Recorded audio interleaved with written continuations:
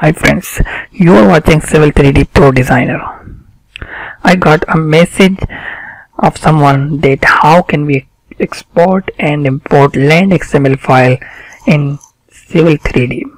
So without wasting time I will uh, suggest you some steps which you can follow and you will get export then you can import later and land XML file in Civil 3D open your civil 3d and uh, you can open any drawing which have alignments profile existing surfaces and finishing and so on.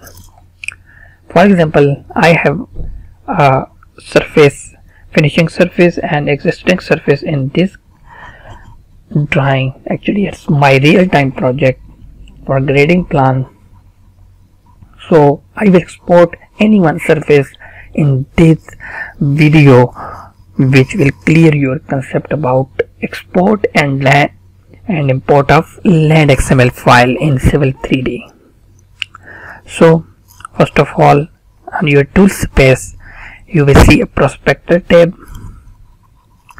If you have alignments, pipe network, eh, feature line and so on you will see all of them here and you can also export pipe networking profile limits in land xml file also.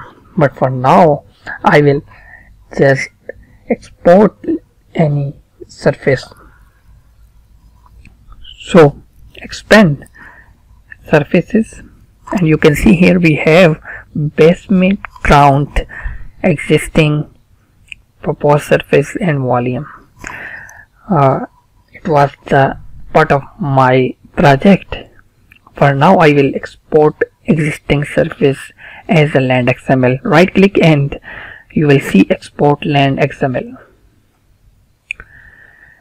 as we want to export just basics existing surface we will not disturb any uh, existing selections. So we will do it same it is press ok. And it will ask you for the name and path of drawing. It is our existing surface. Press save. Now you can see we have existing surface here.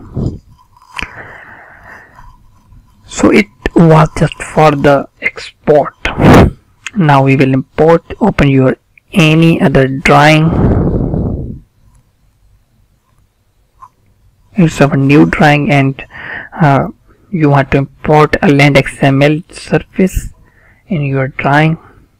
Simply go into a third tab and you will see land XML click and select your drawing uh, sorry land XML file.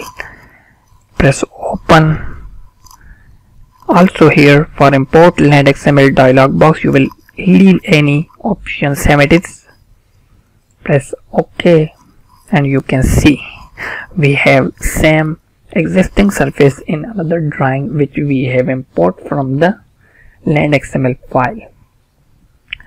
But it is not civil 3d surface. So if you want to know that how can we make Civil 3D surfaces from land XML file write down in the comment box. I will explain that in the next video. Hope you like this video. If you are new on my youtube channel civil 3d pro designer you can subscribe and please press the bell icon to get latest notification about videos. You can also access me through my facebook page Civil 3D Pro Designer. Here you will get many more material about Civil 3D and land surveying.